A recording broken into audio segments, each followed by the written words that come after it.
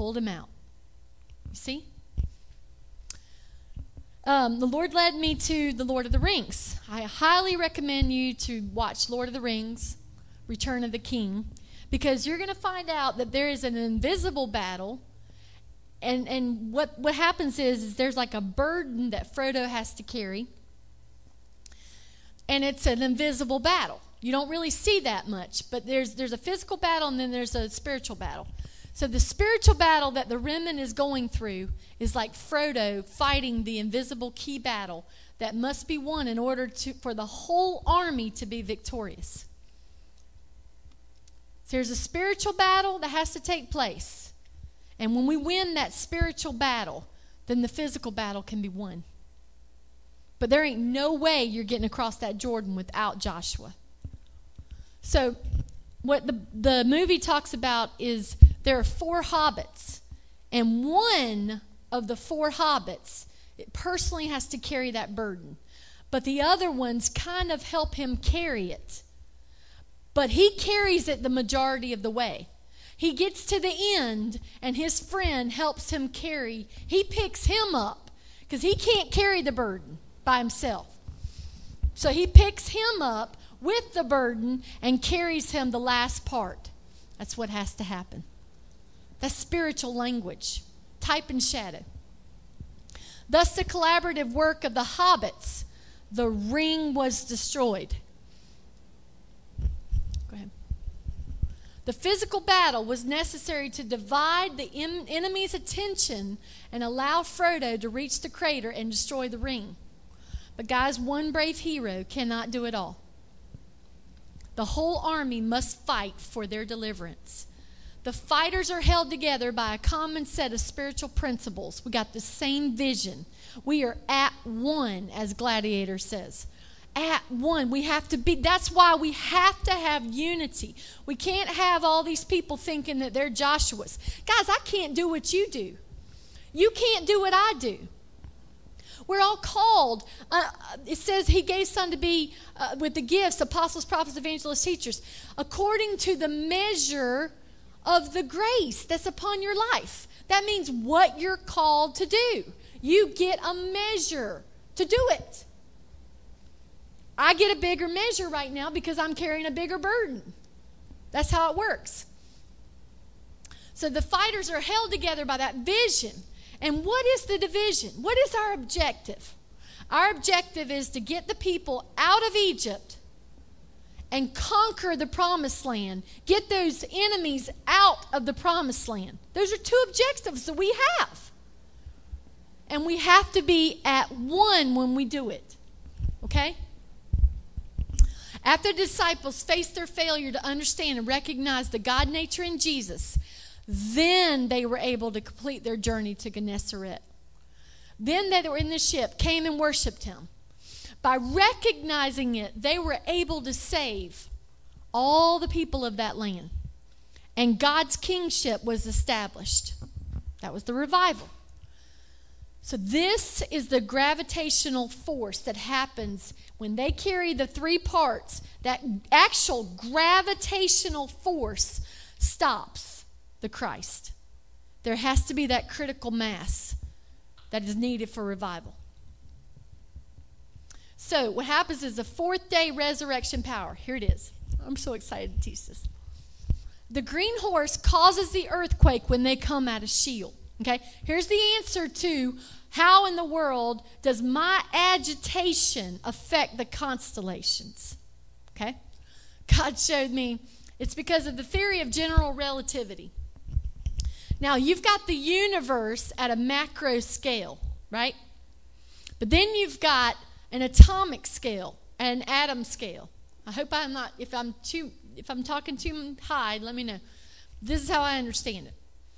So, quantum mechanics describes the universe at an atomic scale. Okay? So, there are three forces that happen at an atomic scale. In other words, if we were going to go into a laboratory and examine an atom, not the universe, we're not looking at the universe, the forces we're just looking at the atom. There are three forces that you're going to see when you're examining that atom. You're going to see the electromagnetic force, you're going to see the strong nuclear force, and you're going to see the weak nuclear force. In quantum mechanics, you can only explain these three of the fundamental forces of the universe. And there's a reason for that. Because we can't carry the gravity. Gravity is the fourth. But the thing is, is three out of the four fundamental forces of the universe, the faithful remnant carries three parts of the burden. See, this to show you too. Type and shadow. The natural shows you a, a, a understanding, a parable of the spiritual. Because we, in this physical world, came out of the spiritual world. Everything came out of the spiritual world. So God wants you to look back at the spiritual world all the time. So He has all these little things in the world to show you what's going on, this being one of them. Do you understand that these forces are God's power? God created science so that we could understand Him. But there are evil people that are at the head of the science mountain, and they're leading people astray to go, well, I don't, I don't really believe there's a God. But God is going to cause science and the Bible to come back together in the end times because He created it to do it. As soon as the Christ come in there and have all this information, that's it. The world's going to see that this is about God. So you cannot carry the fourth alone.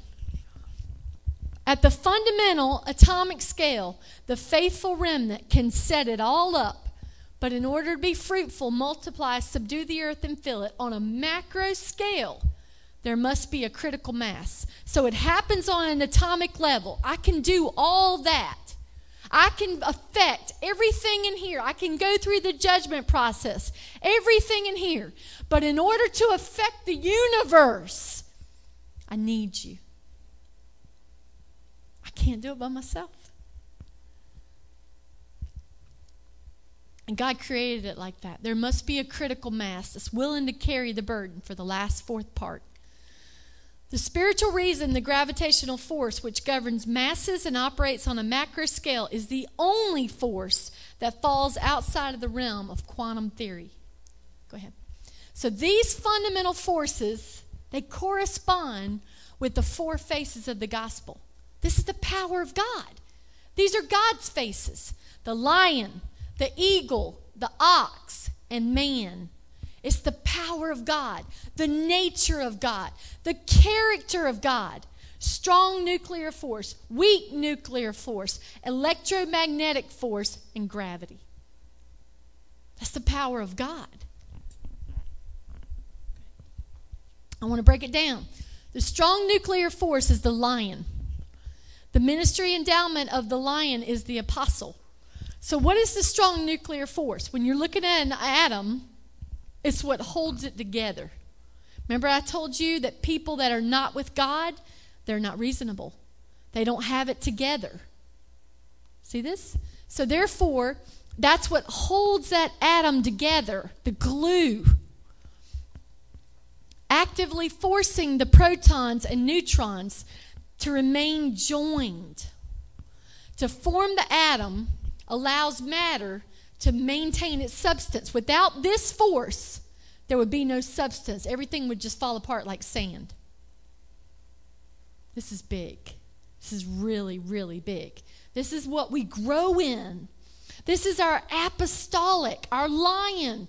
You grow in your strong nuclear force. Woo! This excites me. So God only builds on a righteous foundation. So judgments forge God's righteousness.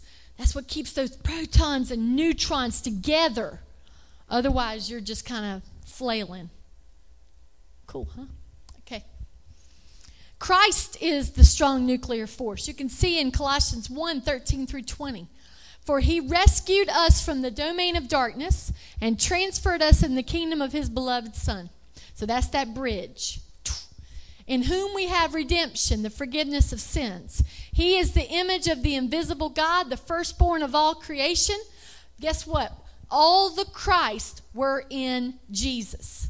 We were in him from the foundation of the world. We were in God from the foundation of the world. And we were sent here to do a job. For by him all things were created, both in the heavens and on the earth, invisible and visible, whether thrones or dominions or rulers or authority. All things have been created through him and for him. Do you see the strong nuclear force? It's holding it together. He is holding the universe together. You know what holds it together? Apostolic. But what holds it together? The Word of God. Without the Word of God, the devil wants to take the Word of God away from us. Without the Word of God, everything goes to mush. Mush. And it goes on. And that's what it's talking about is the strong nuclear force. Without Christ, without the Word of God being the written Word of God, and without Christ being the Word of God that hears from their Father, the world will turn to mush. So the weak nuclear force is the eagle, which is the prophet. Did you know that the weak nuclear force actually drives the sun? They keep electrons circling around the nu- nucleus because it violates, this is interesting to me. This nu- weak nuclear force violates symmetry law. Why? Because the left hand is the prophet and it defies traditional protocol. The prophet doesn't do things the way man does it. The prophet comes to say, Man, you're disobeying God. The prophet doesn't do things man's way. So, this is another type and shadow. It's the left hand. The prophet defiles traditional protocol. This is the force that only acts on the left handed particles. And this is a force that operates at a distance versus close up, like the strong nuclear force. So the weak and the strong nuclear force are what gives the atom its full shape. Look what it says in Ephesians 2 20 through 22 having been built on the foundation of the apostles and prophets. Christ Jesus, that means fully Christ Jesus himself, being the cornerstone, in whom the whole building being fitted together is growing into a holy temple in the Lord, in whom you are also being built together in the dwelling of God in the Spirit. That's the weak nuclear force. The apostolic is laid, and then the prophetic. Without that, there is no foundation. See? Go ahead. The electro this is my favorite. The electromagnetism force is the ox, the evangelist. I think this week I've been developing my evangelistic. This is where I'm really growing right now. Because God was showing me this is like waves. This is like your spiritual authority. Why do I have spiritual authority? Because I have wisdom. This is how you have wisdom is by your electromagnetism force. This is discernment. I mean, how many times did he say the word discernment today? I have discernment and I can tell you're real. so he's saying he has electromagnetic force. Invisible streams in the atmosphere, along with electrons and other matter, can be easily transported. So, wisdom gives you ability to discern the invisible streams in the physical and of the spiritual atmosphere. And you're able to flow in those streams in order to conquer spiritual and physical realm. When you have your evangelistic anointing, you have authority over the spiritual realm and over the physical realm. You grow in that. And it's the most expansive and produces the strongest effects and consequences in the atmosphere. So, like, what I'm feeling is going out into the atmosphere. My apostolic, as I increase in my apostolic and in my prophetic and in my evangelistic, I have become one with God. And I'm waiting. That pastor teacher comes out when, when you come out of Sheol. So I'm growing, I'm growing, I'm growing. I'm wanting to be one with God. And I'm shaking the earth. Let me out. I want to go to the people. I want the resurrection power to be able to transform the world. But I can't do it by myself. You detect the spirits in the atmosphere and you have authority over them. What does that mean to have authority? It means you have answers to problems. Go ahead, Tim. Okay, so now that leaves you with gravity. Now, gravity is man's face. That's the pastor teacher. That's the part that you have to carry. General relativity